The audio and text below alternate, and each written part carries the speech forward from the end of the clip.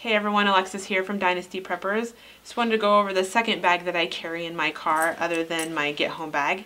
This is dedicated for just medical equipment, as you can see there by the medical badge.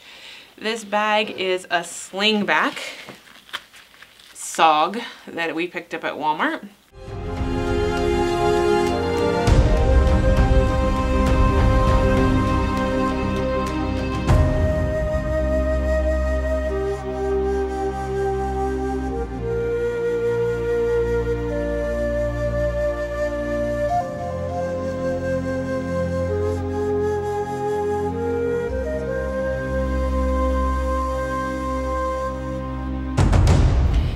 Um, we actually originally picked it up to see if it would make a good um, bug out bag for the kids because it's small. But we have realized that we do not like it for that. We do not like it for anything. no. Um, it actually works really great for all this medical equipment and I shove it under my seat in my car and I will show you where I keep that at the end here in my car.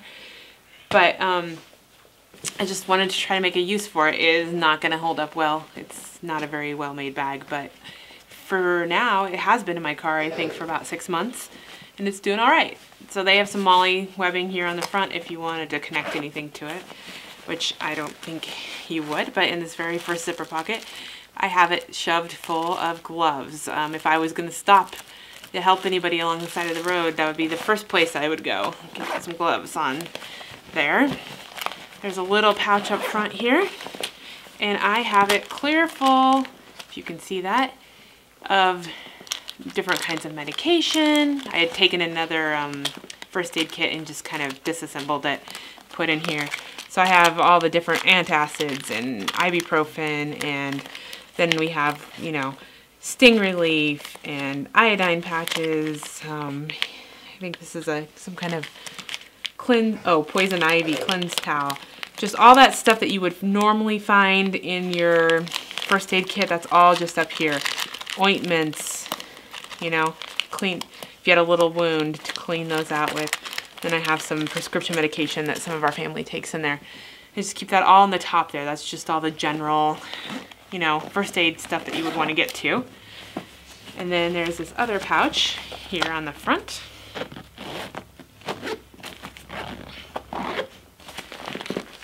And I've got some Q-tips and some floss, some gauze, some surgical masks, tape, tongue depressors. You see all that in there. Some super glue. Yes, you can glue your wounds together. Um, let's see, thermometer, hand sterilizer wipes, some more wrap, Coflex down there. Love Coflex. Works so much better on kids, doesn't rip their their hair off. So just a little bit of everything in there.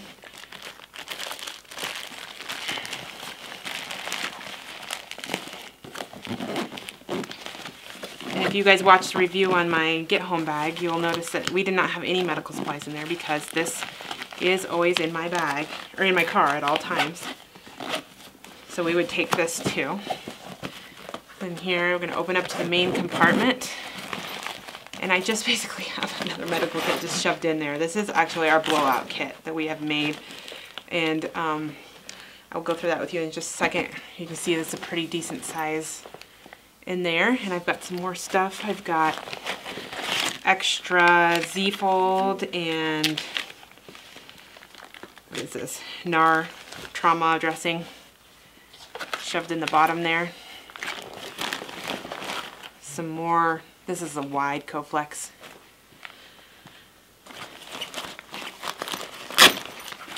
Up in here, just a bag of all different sizes of band-aids and extra gauze and um, butterfly enclosures. We've got a triangular triangular bandage in there. It's just some extra stuff there. Got an instant ice pack there that works nice for kids. We've used one actually. You know, someone jammed a finger or something. That never happens. Never happens. Just a first aid guide. I don't need that. I'm trained in first aid, but just have it thrown in there just in case. There's some little pockets in there. I don't have anything in that. another little pouch back there that I don't have anything in. So let's just get into what we have in our blowout kit here. This is actually a Condor, I think Rip Away first aid pouch, right? Yeah. You're right. I'm right. I was right. So we like to test out different things. So far, this one's held up fine. Um, just one that we had. We made up um, a few, a couple of these for to take to the range and stuff. But we want one in our in my car at all times, just in case if we were to get in a car accident or if we stopped to help somebody else. So we've got ourselves a cat T tourniquet here. A pair of um, Paramedic shears. medic shears, yeah. Sorry, just couldn't think of the name. We've got a whole thing of Neosporin, some more gloves right there, just in case I was to like grab this section and not take this with me if I was going to help someone. And then back here, we've got Quick Clot. Like I said, this is a blowout kit, right? So we've got everything here to treat gunshot wounds. Um, got two chest seals.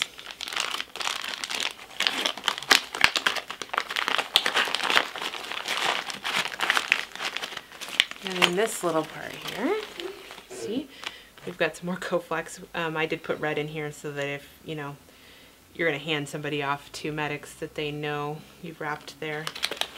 We've got the, what is this? Should be four inch Israeli bandage. Yeah, it is, four inch Israeli. And then we have a SWAT T tourniquet, which are so many uses for these other than just a tourniquet. So I like to carry that and have that as an option too. You can make slings out of them. You can wrap if you're not wanting to actually tourniquet somebody's wound if they didn't need it. You could use it to just wrap over the gauze too to help keep pressure. That's the orange one, isn't it? Yes, this is the orange one. They make a black one as Yeah, well too. they do. but This one, you know, this is this isn't a bug out bag. This is my car every day. You know, more than likely you'd, you'd be coming upon a a car crash, right? If you're gonna help somebody. I got a Z pack dressing. We've got some glow sticks, especially if you're at night trying to get some help. Like to work on somebody night. Yes, again, more gloves. Eh, You can never have enough gloves, especially if you're working on people who are not your family members. We've just got a bunch of um, 4x4s here. Oh, 3x3s, sorry. Gauze pads, to pack a wound. We've got some tape. And it looks like we've got another Z-fold up there. So that's what I carry in my car. Um, you know, pretty much able to treat everything from, you know, just your everyday little kids' boo-boos to helping someone in a car crash or if you had a gunshot wound you needed to tend to. Um, I just feel like we need that in the car. So that's what we have in our medical bag that I carry in my car. All right, guys, here you can see are the medical bag that I have. I have it underneath my seat. Um, our seats pull up and then set back down. And the nice thing is, is I could grab this and yank it out. Um, it would come out. Um, other, just you know, everyone knows where that is in the car. And if anyone hears mom say, "Get the medical bag," they know exactly where it's at. So I just wanted to show you where I kind of stored that, and you get free crumbs in your video. We are parents. So. Yes. So just underneath the passenger side seat there in my Expedition. All right, guys. Here's a picture of all the stuff we've got.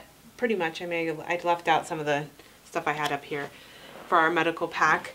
Um, one of the biggest things that we stress is that with anything in your preparedness, not only do you need stuff, but you also need training. And recently, Justin and I went and took Med Prep 101 and 201 from Patriot Nurse, and it was amazing, and we had a lot of fun, and we learned a lot. And I just think that we all need to do that, take time and money also to get your stuff and also train yourself because if you don't know how to use this stuff, If you don't know how to use it, it's worthless. yeah, So, there's no there's no point. You just have it and hope that maybe somebody's around that knows how to use it. So go ahead and get training. I know there's a lot of people out there who train. Um, Patriot Nurse was a lot of fun. We had a great weekend. It was a blast. And um, we also want to do some other training with some other people around and just, you know, keep in on that training and keep in on trying to have the stuff around too. So it's, it's twofold. You got to do both of them. Hi, this is Justin with Dynasty Preppers. If you enjoyed the video today, please like and share with your friends. And subscribe to the channel. We have lots of other upcoming videos like these over here. Ask yourself, what have you done to secure your dynasty today?